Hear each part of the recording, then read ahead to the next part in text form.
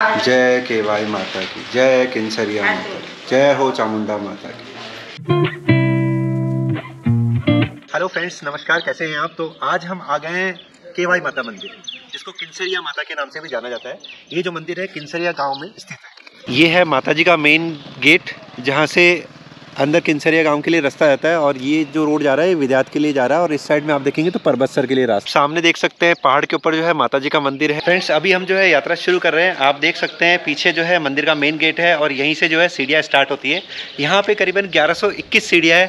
तो चलिए यात्रा शुरू करते हैं। यहाँ पे सामने लिखा है ग्यारह सीढ़ियाँ और ये है मंदिर का मेन गेट और ये है यहाँ पे ऑफ़िस।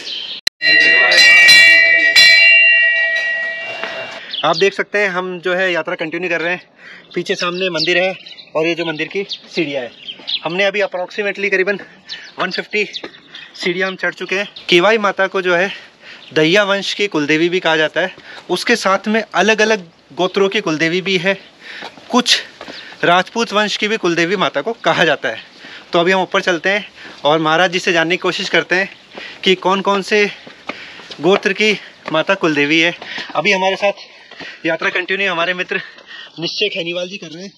तो इनसे भी थोड़ी माता का इतिहास जानने की कोशिश करते हैं। तो दर्शकों को सुन ये भी बताना ज़रूरी है कि जो दैया वंशज है वो ऋषि ददीची जो थे जिन्होंने इंद्र को वज्रास्त्र अपनी हड्डियों से प्रदान किया था वही वंशज के ये राजा रहे दैया दैया वंशज। ज़ोर से बोलो। माता दी। कहाँ से आए आप? अजमेर। अजमेर। से आए आपकी कुलदेवी है? हाँ। अच्छा ठीक है। जय माता की। जय माता दी अभी हम यात्रा के दौरान कुछ पल विश्राम के ले रहे हैं और साथ में हम जो है माता का इतिहास और वंशज का इतिहास भी जान लेते हैं। तो निश्चय खैनीवाल जी यात्रा पे थोड़ा इतिहास पे नज़र डालिए। बिल्कुल। दहिया वंशज।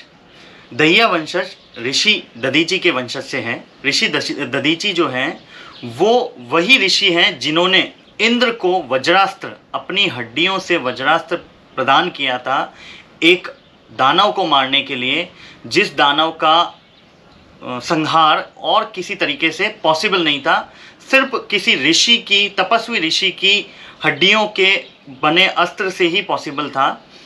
उन्हीं के वंशज, दहिया वंशज कहलाए और दहिया वंशज के चचदेव ने ये मंदिर स्थापित किया, इसका जीर्णोद्धार कराया।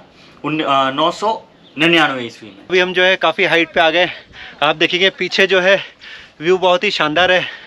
देख सकते हैं बड़ा ही सुंदर नज़ारा है और यात्रा हम कंटिन्यू कर रहे हैं। अभी करीबन साढ़े छः सौ सीढ़ियाँ हम चढ़ चुके हैं। इस बार हमें चढ़ने में तकलीफ़ कम आ रही है क्योंकि जो रास्ता है बहुत ही सुगम और सुंदर और अच्छा है। तो आप भी यहाँ पे आ सकते हैं। अभी जो है मंदिर में रोपवे निर्माण का कार्य कंटिन्यू है। जल्दी अप्रूवल वगैरह आने के बाद वो पूरा कंप्लीट हो जाएगा और उसके बाद आप जो है रोपवे से भी यहाँ पे यात्रा कर सकते हैं। जय केवाय माता की। जय केवाई माता की। माता जी जय माता की। जय माता की। कटो आयो? अटो आया गाँव गाँव आए किनसरिया हूँ? हाँ चलो ठीक है जय माता की। जय माता की। अभी हम जो आधे रास्ते से ज़्यादा आ गए अब साढ़े चार सौ सीढ़ियाँ बची है ऊपर मंदिर में और आप देख सकते हैं सामने ऊपर वहाँ पे है माता का मंदिर। और इधर है खूबसूरत सा नज़ारा। देख सकते हैं चारों तरफ़। बहुत ही अद्भुत और अरावली का नज़ारा है। अभी हम आपको राजस्थान के जो भी प्राचीन मंदिर हैं, उनकी यात्राएँ करा रहे हैं हमारे सीरीज़ में। आप देख सकते हैं पीछे काफ़ी सीढ़ियाँ भी हम चढ़ के आ गए। और केवाई माता का मंदिर भी बहुत पुराना है, बहुत पुराना इतिहास है। इतना पुराना इतिहास है कि यहाँ पे सिर्फ़ और सिर्फ़ वो इतिहास शिलालेख पे दर्ज है। किसी को नहीं पता, किसी के पास प्रमाण नहीं है शिलालेख के अलावा कि इस मंदिर का इतिहास क्या है। आप देख सकते हैं, सीढ़ियाँ भी हम कंटिन्यू चढ़ रहे हैं और अब करीबन 200 सीढ़ियाँ और बची है मंदिर के लिए। तो यात्रा कंटिन्यू करते हैं। अभी जो है माता के मंदिर में पहुँच गए हैं सबसे ऊपर। आप देख सकते हैं, पीछे जो है व्यू बहुत ही शानदार अल्टीमेट दिखाई दे रहा है। और ये जो मंदिर है नागौर ज़िले में सबसे ऊँची पर्वत श्रृंखला पर है, अरावली पर्वत श्रृंखला पे। यहाँ से जो है अंदर मंदिर का रास्ता जाता है और ये आप चारों तरफ़ देख सकते हैं व्यू। बिल्कुल टॉप पे है एकदम माता का मंदिर। तो चलिए, हम अंदर चलते हैं और आपको माता जी के दर्शन करवाते हैं। अभी हम जो है अंदर चल रहे हैं मंदिर में। आप देख सकते हैं मंदिर के अंदर आ गए। और यहाँ पे सामने मंदिर बना हुआ है। मकराना मार्बल से जो अभी मंदिर का काम चल रहा है। और इस साइड में है माता का शेर। और ये काला गोरा भैरू जी है। ये साइड में काला गोरा भैरू जी। हाँ। और सामने है माता जी का मंदिर। अभी हम मंदिर के अंदर चल रहे हैं और सामने जो है माता जी विराजमान है तो आपको दर्शन कराते हैं। चलिए। केवाई माता के मंदिर में आ गए। आप देख सकते हैं गर्भगृह में जो है दो मूर्तियाँ स्थापित है। एक है केवाई माता की एक है चामुंडा माता की। जय केवाई माता की जय किंसरिया माता की। अभी हम मंदिर परिसर में हैं और हम पुजारी जी से मंदिर का इतिहास जानने की कोशिश करेंगे।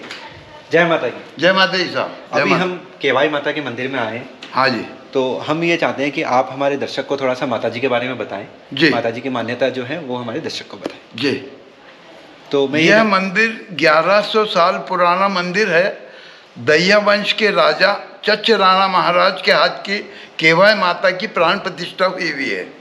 दूसरा चामुंडा माता जो है, जोधपुर महाराजा अजीत सिंह जी थे, उनके हाथ की प्राण प्रतिष्ठा चामुंडा माता की है।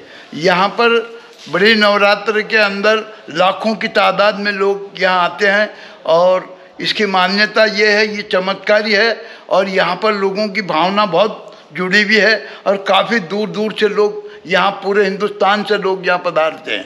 तो ये माता जी जो है दैया वंशज की कुलदेवी है। हाँ दैया वंश की कुलदेवी है और भी छत्तीस कौम की उनकी भी कुलदेवी यही है। अच्छा।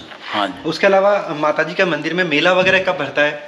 ये चैत्र महीने के बड़ा नोरता के अंदर इसका मेला लगता है जो लाखों की तादाद में लोग यहाँ पर इकट्ठे होते हैं। उसके अलावा महाराज एक यहाँ पे हमने सुना है शिलालेख पे भी हाँ। इतिहास लिखा है उसके बारे में बताइए जी ये इसका जो शिलालेख है पहले के जो शिलालेख है वो सब देवस्थान विभाग में जमा है वहाँ पर। उसका पूरा उल्लेख है वो लिपि पुराने राजा महाराजाओं के हाथ की लिपि लिखी हुई है वो अपने को तो आती नहीं है वो लिपि सीखना पड़ती है।